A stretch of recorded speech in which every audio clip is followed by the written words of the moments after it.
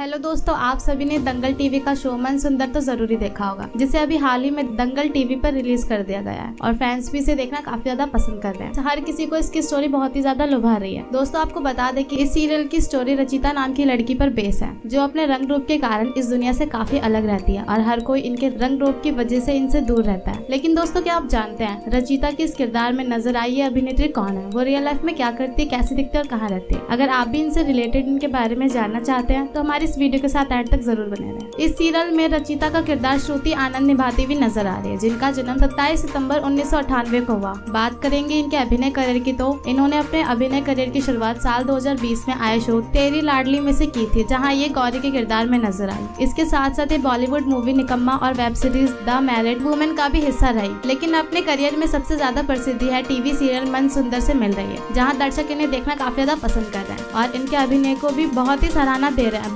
करेंगे इनके personal life की तो श्रुति अपने माता पिता के साथ मुंबई में ही रहती है। ये सोशल मीडिया पर काफ़ी ज़्यादा एक्टिव रहती है। ये अपने फैंस के लिए हर दिन new post and videos upload करती है। और इनके फैंस भी इनकी पोस्ट पर जमकर लाइक और कमेंट करते हैं। आपको श्रुति के बारे में जानकर कैसा लगा, हमें कमेंट सेक्शन में ज़रूर बताएँ। वीडियो पसंद आए तो वीडियो को लाइक करना ना भूलें। ऐसे इंटरेस्टिंग वीडियोस के लिए हमारे चैनल को सब्सक्राइब कर दें। तो मिलते हैं नेक्स्ट वीडियो में, जब तक के लिए बाय बाय